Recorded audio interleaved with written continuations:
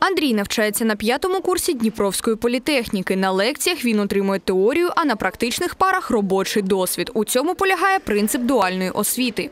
Я думаю, что это очень востребовано и сейчас, потому что э, студентам нужна практика, больше практических занятий. В уни- в университете э, не хватает практического ну, обучения так как такового. Есть лекции, но э, по одним только лекциям ты не сможешь ну, понять, как происходит все уже на производстве.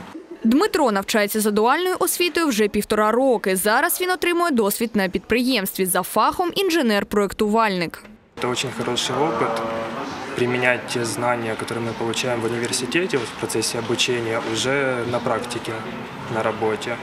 То есть не когда мы выпустились и все это забыли, и потом заново вспоминаем, а сразу вот на свежую голову. Викладачі ж розповідають, у деяких вишах створюють спеціальні лабораторії, аби студенти опанували робоче обладнання вже в стінах університету. Наш студент він навчається в університеті, він не пропускає заняття, він виконує всі свої функції стосовно навчання, а додаткову практичну підготовку він отримує на підприємствах, на профільних підприємствах тієї спеціальності, за якою він проходить відповідну програму. Тепер керівники закладів освіти мають укласти договори з підприємствами, що беруть участь в експерименті. Студенти перед зарахуванням на дуальне навчання проходять відбір. Його проводить роботодавець. Після підписують тристоронній договір та трудову угоду.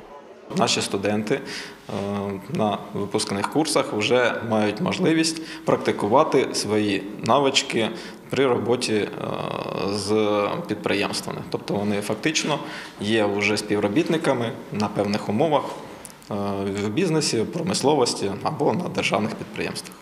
Дуальна освіта це європейська практика. В обласному департаменті освіти кажуть, співробітництво університету і роботодавців це формула, яка приведе до професійних працівників у майбутньому. навчальний заклад надає е, теорію, е, основи практичних знань.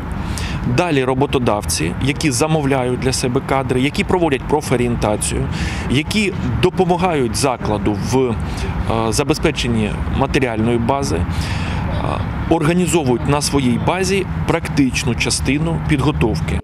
Можливість опанувати майбутню професію на підприємстві без відриву від навчання тепер мають студенти понад 40 навчальних закладів України. Вони учасники пілотного проєкту. Дніпропетровщину представили сім вишів та коледжів. Це найбільше з поміж 16 областей, що долучились до експерименту. Олександр Філь, Юрій Краснощок, Андрій Ковбаса, News, телеканал відкритий.